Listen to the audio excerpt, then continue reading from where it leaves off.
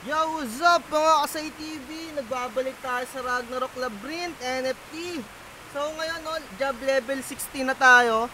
Mag-change job na tayo sa sniper. Makikita nyo to, meron ng change job. And then, ituturo ko sa inyo kung ano yung magandang stats tsaka build dito sa ating sniper, no? So ito, una ipapakita ko muna yung mga skill ng kung anong meron yung sniper. Ayan, meron siyang Falcon Assault. Ayan, usually yung Falcon Assault, no, dapat meron siyang ah, ibon dito. Pero parang wala eh, no? Requirements nito, bow. Siyempre, sniper tayo eh. So, ito din, yung isa, yung focus arrow strike niya. Ayan. And then, ito yung Falcon Eyes. Additional ah, critical attack rate Ayan no. So ito active to. And then yung isa, yung huli, yung Windwalker or yung Windwalk. Ito no, ah, bibilis yung paglalakad natin dito. So ayan, mag-change job na tayo.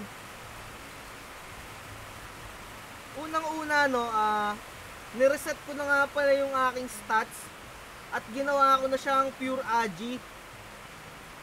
So ito yung pinaka magagandang build dito sa sniper, yung pure AG.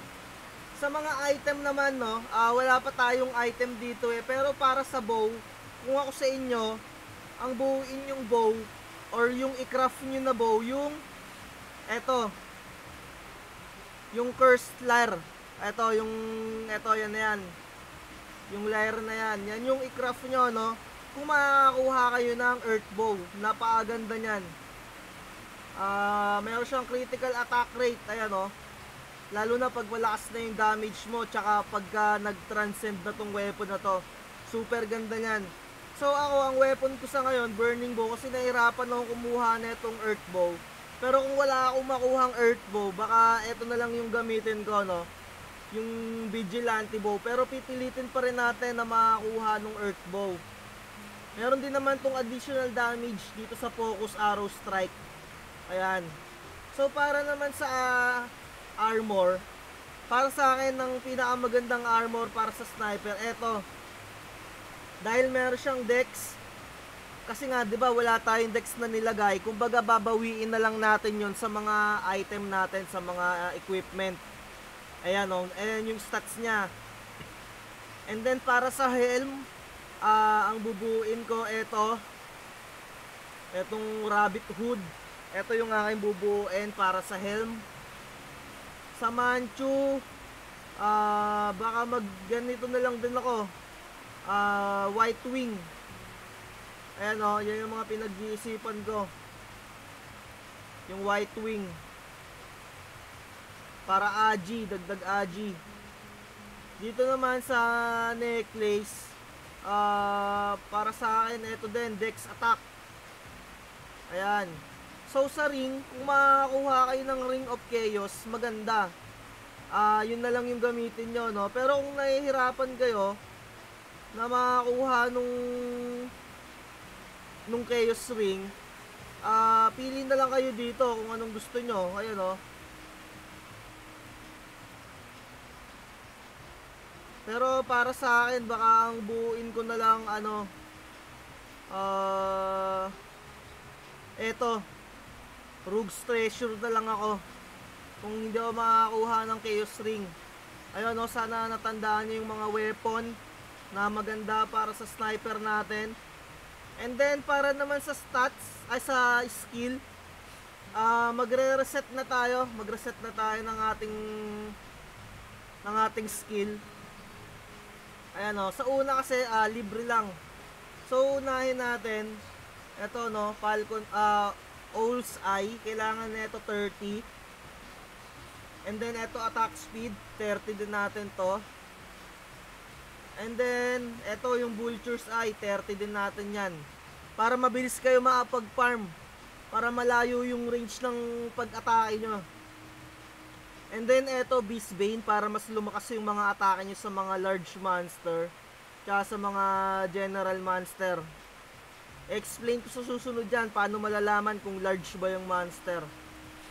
And then dito para sa Windwalker, Ah, maglalagay lang muna ako siguro nito ng mga lima. Ayan no, ng lima.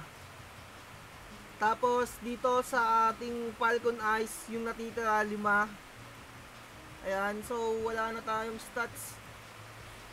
So tignan natin baka meron pa dito. Ayan, so far wala na lahat na yon kasi hindi job level 60 pa tayo sakto, no? So ang lalagyan ko nito sa mga susunod, ito maglalagay ako nitong focus arrow strike.